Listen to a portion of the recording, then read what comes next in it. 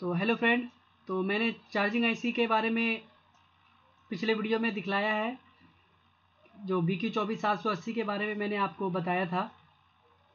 तो B Q चौबीस सात सौ अस्सी के बारे में अगर आपने वो वीडियो देखी है मेरी तो ये आप ये पार्ट टू देखें, नहीं तो आपको कुछ समझ में नहीं आने वाला है, क्योंकि मैंने उसको स्किप करके पार्ट टू बनाया है। वो बीस मिनट का लगभग वीडियो है तो उसे पहले आप ज़रूर देखें।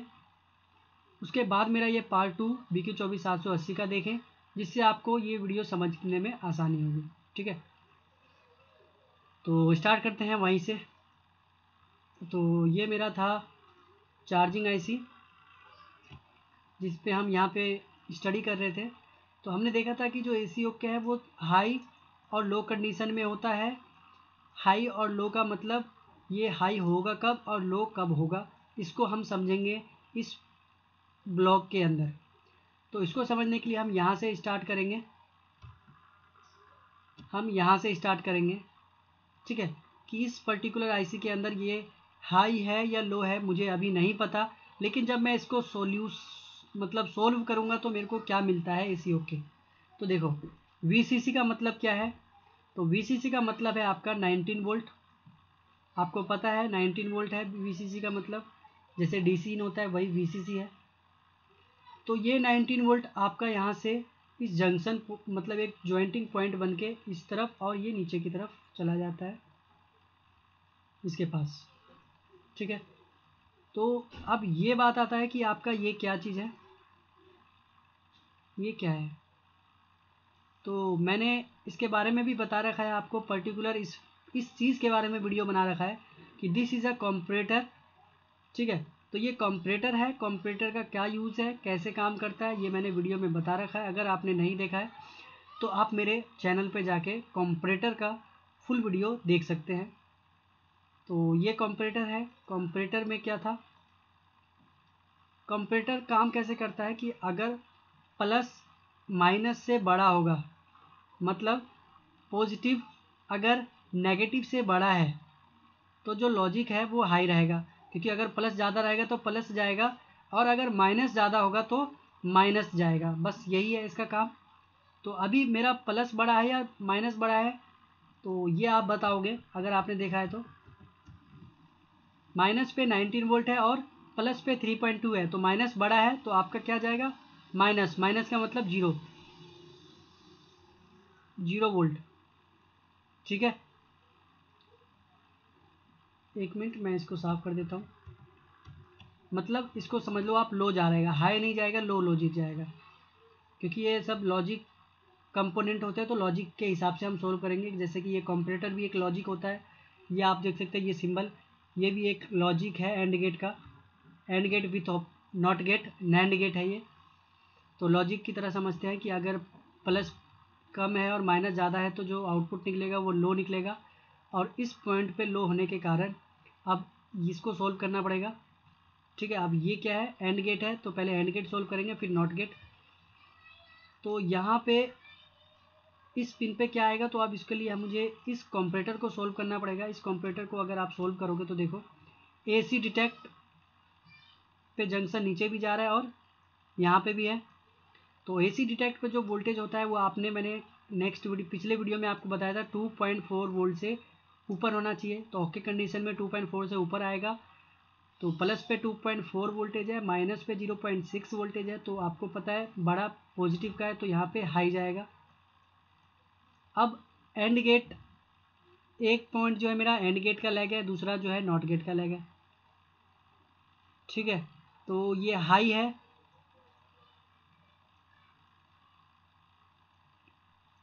और फिर ये लो है तो लो से ये नॉट गेट है और ये हाई बना देगा यहाँ पे। क्योंकि आपको पता है नॉट गेट हाई को लो लो को हाई कर देता है तो ये पॉइंट पे तो हाई पहले से था ही। और नॉट गेट को जैसे ही लो ने पार किया, वो हाई हो गया तो आपको यहाँ पे हाई मिलता है पूरा। ठीक है, आपको ये हाई मिलेगा। अगर आपने मेरा लॉजिक गेट्स का वीडियो नहीं देखा है तो आपको पहले लॉजिक गेट्स का वीडियो देखना पड़ेगा।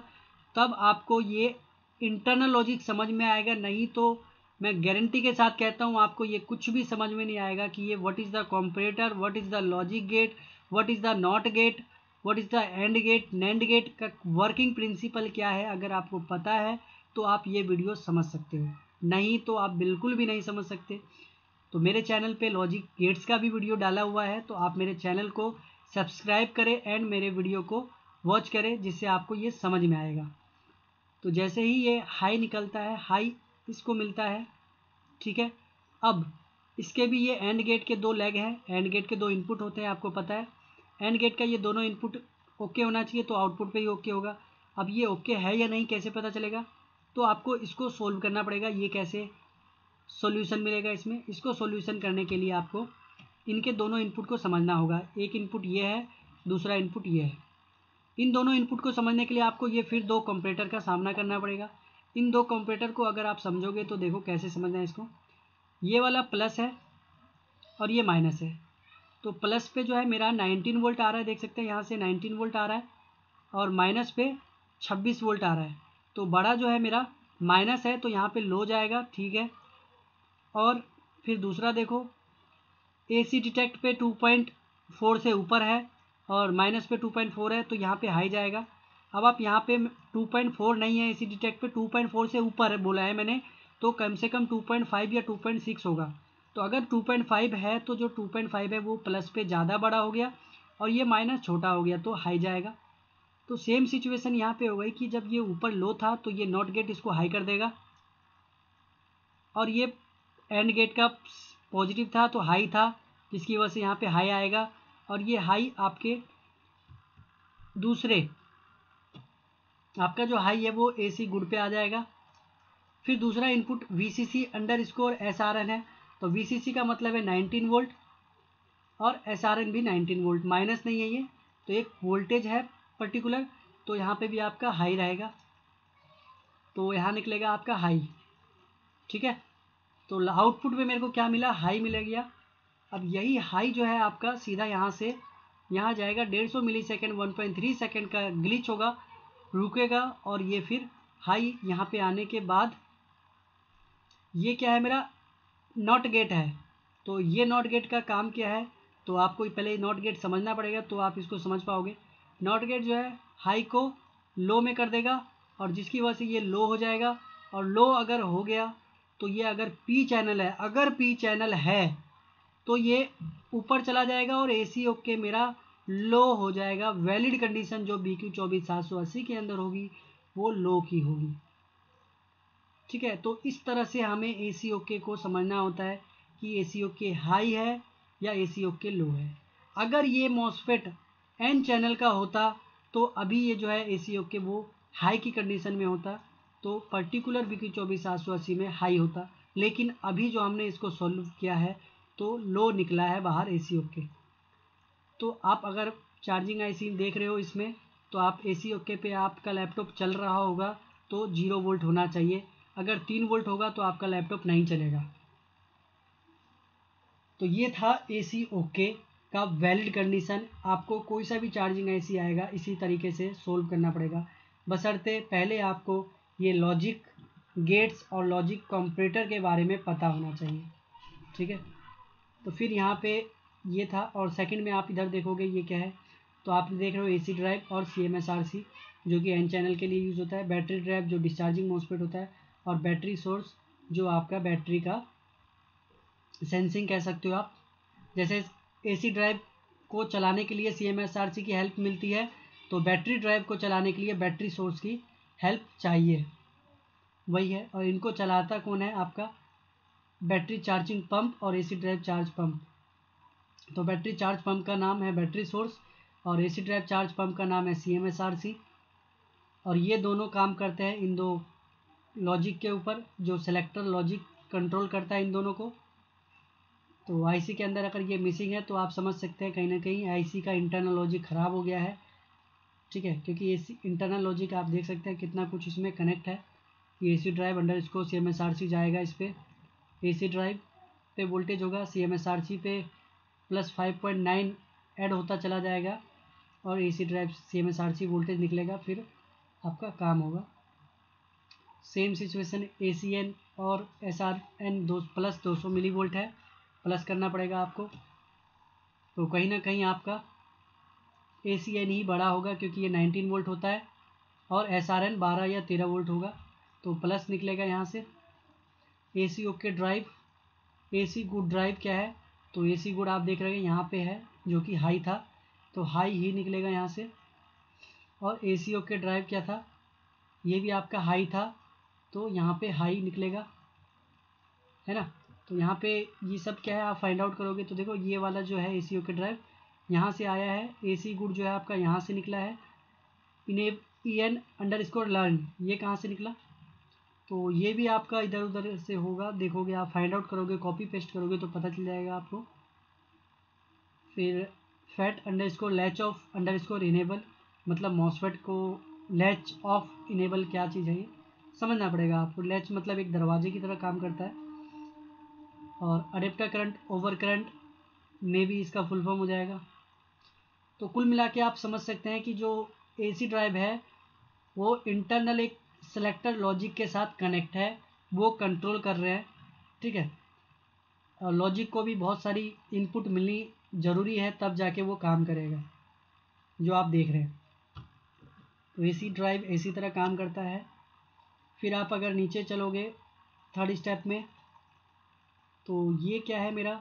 जो आपका एक मेन मोसपेट और एक सपोर्टिंग मोसपेट होता है, उनको कंट्रोल करने वाला P W M driver logic मतलब जो मेन मोसपेट और सपोर्टिंग मोसपेट है, वो इतनी आसानी से कंट्रोल नहीं होता जितनी आसानी से हम समझते हैं कि गेट पे वोल्टेज चार्जिंग ऐसी देगा। लेकिन वो कब देगा, कैसे देगा, कितना देगा, उसके लिए यहाँ पूरी रामकथा चार्जिंग ऐसी के अंदर है। ठीक है? क्योंकि ये देख सकते हैं आप, ये इतनी बड़ी पी डब्ल्यू एम का इंटरनल लॉजिक है अंदर और उनके साथ लगे हैं कितने सारे कंप्यूटर एक, दो, तीन, चार, पाँच छः ठीक है? देख सकते हैं आप, सात, आठ, नौ दस, ग्यारह। ठीक है, ग्यारह या बारह जो है, सिर्फ़ और सिर्फ़ कंप्यूटर लगा हुआ है। उसके बाद आप देख सकते हैं, ये पी डब्ल्यू एम एक सिंगल इनेबल कह सकते हैं इंटरनल के लिए पी डब्ल्यू एम के लिए भी ये पूरा सर्किट कनेक्ट है। अगर इनमें से कोई सर्किट भी हल्का सा डगमगाया तो आपका पी डब्ल्यू एम का जो पिन है, ये डगमगा जाएगा इंटरनली फिर ये P W M driver logic ही डगमगाने के कारण आपका मेन मोसपेट सपोर्टिंग मोसपेट काम नहीं करेगा। इसीलिए लोग चार्जिंग आईसी को चेंज करते हैं, उनका काम हो जाता है। क्योंकि कहीं ना कहीं इतने सारे चीज़, एक मोसफेट को चलाने के लिए है तो कहीं ना कहीं ये ख़राब होने के चांस बहुत ज़्यादा होते हैं और ख़राब भी बहुत होते हैं। तो इनको समझना इतना आसान नहीं है और इनको समझने की कोई ज़रूरत भी नहीं है। ठीक है, इनको समझ के आपको क्या मिलेगा, इनको समझ के आपको क्या मिलेगा। बेसिकली समझना है तो आपको अपना माइंड लगाना है थोड़ा सा कि क्या होना चाहिए। क्योंकि कंपरेटर के बारे में आपको पता है तो आप समझना है टी जे क्या मतलब क्या है और टी शर्ट पे निकलेगा क्या। ठीक है ना? कि प्लस बड़ा होगा तो हाई निकलेगा, छोटा होगा तो लो निकलेगा। फिर S R P minus S R N है तो माइनस प्लस कर दो और 120 मिली वोल्ट देख लो कि 120 मिली वोल्ट बचा या एक, उससे ज़्यादा बच गया। तो जो चार्जिंग ओवर करंट प्रोटेक्शन है, वो आपका निकल आएगा। उसी तरह five millivolt S R P S R N देख लो। इसमें जो बड़ा होगा तो हाई निकलेगा या लो निकल जाएगा। 1.25 मिली वोल्ट है। अब S R P minus S R N के अंदर आपको चेक करना पड़ेगा कि कौन सा बड़ा है। तो इस तरह से आप इसको समझने की कोशिश कर सकते हैं। फिर पी डब्ल्यू एम है तो पी डब्ल्यू एम के लिए आपको ये समझना पड़ेगा। अब ये रैम्प क्या होता है, ये मुझे भी नहीं पता। है ना? फिर ये होता है टेन ये एक तरह का करंट होता है इंडिपेंडेंट करंट सोर्स कहते हैं इसको। ठीक है? ग्राउंड के साथ कनेक्ट है। और जैसे ये पी मोन लिखा हुआ है पी मोन, पता नहीं पावर मोनीटर ऑन है तो ये छोटे छोटे जो सिंबल है, ये किस चीज़ के हैं? आई डोंट नो ठीक है? तो बहुत सारी चीज़ें होती है जो सबको पता नहीं होती है। लेकिन अगर आप प्रैक्टिस करना चाहते हैं, अगर आप इंटरेस्टेड हैं तो आप इसमें टाइम लगाओगे। ठीक है? इसके ऊपर रिसर्च करोगे तो आपको पता चलेगा। मेरी तरफ़ से है, अगर आप करना चाहते हैं तो वेल एंड गुड नहीं करना चाहते हैं तो कोई गलत बात नहीं है, इतनी ज़रूरत नहीं है। जितना मैंने आपको बताया, इतना समझ लो, बस वही काफ़ी है। फिर उसी तरह चार्जिंग ऐसे मैं बोलता आता हूँ कि S D S C L होता है कम्युनिकेशन की लाइन होती है। तो जो वो ए और एल चार्जिंग आई सी में देखते हो बैटरी कनेक्टर पे देखते हो, वो चार्जिंग आई सी कनेक्ट होता है, यही वाला। और बैटरी कनेक्टर से और आई ओ के अंदर यही पिन कनेक्ट होता है। तो चार्जिंग आई सी भी कम्युनिकेट करता है। चार्जिंग आई सी के अंदर पर्टिकुलर एस एम बस का एक इंटरफेस होता है मतलब एक कंट्रोलर होता है, जो चार्जर ऑप्शन को कंट्रोल में रखता है। चार्जर करंट को चार्जर वोल्टेज को इनपुट करंट को डिस्चार्ज करंट को मैन्युफैक्चरिंग आईडी भी जो होती है आपकी चार्जिंग आईसी के अंदर होती है। मतलब आजकल के जितनी भी चार्जिंग आईसी आ रही है तो उसका जो मैन्युफैक्चरिंग आईडी है, कह सकते हैं बैटरी का या फिर बोर्ड का पर्टिकुलर वो चार्जिंग आईसी के अंदर होता है। जो एचडीएसीएल के ज़रिए आपका बोर्ड सेंस करता है कभी कभी क्या अगर आप दूसरी चार्जिंग ऐसे लगाते हो तो दिक्कत करता है आईडी के कारण बैटरी चार्ज नहीं होती है। ठीक है, या बैटरी सेंस नहीं हो पाता या कहीं ना कहीं छोटी चार्जिंग से चार्जिंग से रिलेटेड इशू आता है जो मैन्युफैक्चरिंग आईडी में अगर कोई दिक्कत होगी, या डिवाइस आईडी में कोई दिक्कत होगी तो। ठीक है? फिर आप देख सकते हैं इनके इनपुट और आउटपुट भी कितनी सारी है इसको रिक्वायरमेंट जो है कितनी सारी है।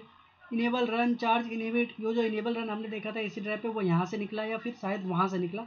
आई डोंट नो कहाँ से निकला।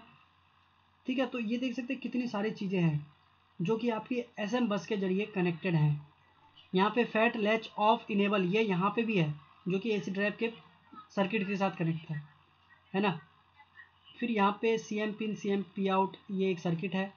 जो कि ओपन ड्रेन पिन होता है सी एम आउट ये भी मॉसफेट है अंदर, अगर हाई रहेगा तो यहाँ पे वोल्टेज रहेगा, अगर ये लो हो जाएगा तो ये पूरा ज़ीरो वोल्ट से कनेक्ट हो जाएगा। अब ये हाई होगा या लो होगा, वो किसके ऊपर डिपेंड है? तो आप देख सकते हैं C M P I N के ऊपर डिपेंड है ये। माइनस प्लस अगर माइनस बड़ा हो गया तो लो निकल जाएगा लो निकलने से मॉसफेट ऑन हो जाएगा। है ना? तो आपको चेक कर लेना है कि सी एम क्योंकि आईसी के अंदर आपको नहीं पता कि इसका मतलब क्या है। क्योंकि अगर बी क्यू चौबीस सात सौ अस्सी आप पढ़ रहे हो तो आपको आईसी में ये भी स्केमेटिक डायग्राम में ये मिलेगा। तो इसका क्या यूज़ है? आप उसके पर्टिकुलर डाटा सीट में पता कर सकते हैं। उसके साथ क्या कनेक्ट है? डाटा सीट में पता कर सकते हैं। जैसे अभी आपने देखा कि सी एम पिन और सी एम पी आउट एक कंप्रेटर और एक मॉसफेट के साथ कनेक्ट है। उसी तरह मैंने जैसे बोला, सबसे ऊपर जो टाइटल में आपको दिखलाया था कि चार्जिंग आईसी प्रोसेसर को इंडिकेट करता है, मॉनिटर करता है। तो आप देख सकते हैं यहाँ पे पिन नंबर दस से लिखा है प्रोसेसर हॉट डिटेक्ट। मतलब अगर ये दस नंबर पिन क्या काम करता है? ये जो दस नंबर है, ये आपके C P U core I C connect होता है। सी पी यू से नहीं कनेक्ट होता है, कोर आई सी के अंदर कनेक्ट होता है और कोर आई सी आपके सी पी यू से कनेक्ट होता है। अगर सी पी यू गर्म होगा तो कोर आई सी को पता चलेगा और कोर आई सी आपका चार्जिंग आई सी को इन्फॉर्मेशन भेज देगा कि सी पी यू गर्म हो रहा है। आगे से सारा सर्किट को बंद करो, जिसके कारण वोल्टेज आना बंद हो जाएगा और सी पी यू गर्म होना बंद हो जाएगा। ये सब तो वो कोर वोल्टेज बंद होने के कारण भी हो सकता है, लेकिन इसके अंदर जो सिक्योरिटी है, बढ़ा दी गई है। ठीक है तो इसमें देख सकते हैं, ये लिखा हुआ है I A D P I D charging voltage सिस अगर इनमें से कोई इन्फॉर्मेशन गलत होगी तो भी दिक्कत है है ना? और इसको जो एक पर्टिकुलर सप्लाई या फिर कह सकते हैं सेटिंग या बैटरी प्रजेंट से कनेक्ट है। यहाँ पे जो पी डब्ल्यू एम सर्किट से ही कनेक्ट है मतलब पी डब्ल्यू एम सर्किट से ही कनेक्ट है, जो मॉसफेट को कंट्रोल करेगी चार्जिंग मॉसफेट को, है ना? तो ये छोटा सा आपका इंटरनल लॉजिक जहाँ जो मैंने पर्टिकुलर पार्ट टू के अंदर सिर्फ़ इसके बारे में ही बना के दिखलाया उसमें अगर पार्ट वन में मैं बनाता तो आप थोड़े से लेज़ी हो जाते, आपको समझ में नहीं आता। आई होप ये जो मैंने पार्ट टू में बताया, सिर्फ़ इसमें आप इंटरेस्टेड होंगे और ये आपको अच्छा लगा होगा और समझ में भी आया होगा। ठीक है? तो ये आपका क्या था? ब्लॉक फंक्शनल ब्लॉक डायग्राम और हर चार्जिंग आईसी के अंदर फंक्शनल ब्लॉक डायग्राम होता है। ठीक है? तो ये था फंक्शनल ब्लॉक डायग्राम अगर आप नीचे जाएँगे तो आपको और भी कुछ इन्फॉर्मेटिव चीज़ें मिलेगी। थ्योरी मिल रही है। अब यहाँ पे देख सकते हैं क्या लिखा है? इनेबल एंड डिसेबल चार्जिंग अब आपका जो चार्जिंग होगा, कब होगा और चार्जिंग कब नहीं होगी तो इसके अंदर दिया गया है। कि in charging mode following condition have valid start charge. Battery को चार्ज करने के लिए जो वैलिड कंडीशन होनी चाहिए वो ये है। इनमें से कोई एक भी अगर इनवैलिड हो गई या मिसिंग चला गया ठीक है तो आपकी जो बैटरी है वो चार्ज नहीं होगी। अब आप पढ़ सकते हैं आपको किस किस चीज़ के ऊपर काम करना पड़ेगा है ना? देख सकते हैं बहुत सारी चीज़ें हैं। कम से कम पन, दस से पंद्रह स्टेप है। अगर उनमें से कोई इन्फो गलत हो गया तो आपकी बैटरी चार्ज नहीं होगी। तो ये भी हमें कहाँ पता चलता है? इंटरनल चार्जिंग सर्किट में, है ना? और उसके बाद दिया है पर्टिकुलर पिन मतलब जो मेन मेन चीज़ें हैं उसके बारे में current and power monitor high currency P mon के बारे में यहाँ लिखा हुआ है, देख सकते हैं। High accuracy power sense amplifier तो ये क्या कह रहा है? बी क्यू चौबीस सात सौ अस्सी device monitor total available power from adapter battery together मतलब अडेप्टर बैटरी के साथ अवेलेबल पावर मॉनिटर करता है। ठीक है? मतलब अडेप्टर और बैटरी दोनों के साथ में जो वोल्टेज है वो टोटल करता है। The ratio of P mon voltage and total power P mon can be program in region into ये डिफ़ॉल्ट वन मतलब ये प्रोग्रामेबल पिन भी हो सकती है। Processor hot indicate from C P U thread thread क्या लिखा है? थ्रॉटलिंग थ्रॉटलिंग तो लिखा है when CP is running turbo mode in the peak power the मिक्सिंगल from the adapter and the battery the adapter contain the battery recharge overshoot और system voltage drop indicate the system power may be too high when adapter battery is remove remaining power source is not support peak power in turbo mode model to event processor processor figure event include तो bro मेरे को इतनी English आती नहीं है, क्योंकि जो charging IC के अंदर जो इंग्लिश होती है, वो बहुत ही ज़्यादा हाई फाई होती है। ठीक है? Feature description I don't know processor hot को लेकर डिपेंड है चार्जिंग आईसी में। तो एक दो चीज़ इस चार्जिंग आईसी में एक्स्ट्रा होने के कारण पेज का साइज़ भी थोड़ा बड़ा हो गया है। लेकिन आपको जितना पढ़ना है उतना पढ़ें। दिमाग पे ज़ोर डालने की ज़रूरत नहीं है। ठीक है ना? ये मैंने सिर्फ़ नॉलेज के लिए बताया है। रिपेयरिंग तो आप करते ही हो और आपको पता है रिपेयरिंग तो आग बंद करके होती है। ना ही डायग्राम खुलता है। ना ही डाटा शीट खुलता है, सिर्फ़ आईसी चेंज किया, अपना लैपटॉप रिपेयर हो गया। तो उससे थोड़ा सा आगे बढ़ना है, क्योंकि कुछ बोर्ड जो आपसे नहीं होता, वो डायग्राम आपकी मदद करेगा इंटरनल लॉजिक आपकी मदद करेगा डाटा सीट आपकी मदद करेगा उसको रिपेयरिंग करने में। ठीक है? नहीं तो फिर तो बोर्ड रिपेयर सब करते ही हैं, सबका पेट पलता ही है है ना? तो फिर रखते हैं इसको आज के लिए इतना ही। फिर मिलते हैं नेक्स्ट वीडियो में। तो किसके ऊपर वीडियो बनाना है? आपको किस चीज़ में परेशानी होती है? आप मुझे कमेंट कर सकते हैं। ठीक है कमेंट करने से पहले आप एक बार मेरे चैनल पे विज़िट करें और चेक करें आपका जो क्वेश्चन है, क्या मैंने उसके ऊपर पहले से वीडियो बना रखा है या नहीं बना रखा है। अगर मैंने पहले से वीडियो बनाया हुआ है तो आप उसे ज़रूर देखें। उसमें अगर आपको कुछ समझ में नहीं आया तो कमेंट करें। अगर आपको मेरे चैनल पर वो वीडियो नहीं मिलती है, जो आपको डाउट है तो आप मुझे कमेंट करके बोल सकते हैं। मैं उसके ऊपर एक हफ़्ते के अंदर वीडियो ज़रूर अपलोड करूँगा। ठीक है? तो आई होप आपको ये वीडियो अच्छी लगी होगी और आपको बहुत कुछ सीखने को मिला होगा। तो आज के लिए इतना ही। फिर मिलते हैं नेक्स्ट वीडियो में। जब तक के लिए bye bye and thank you for watching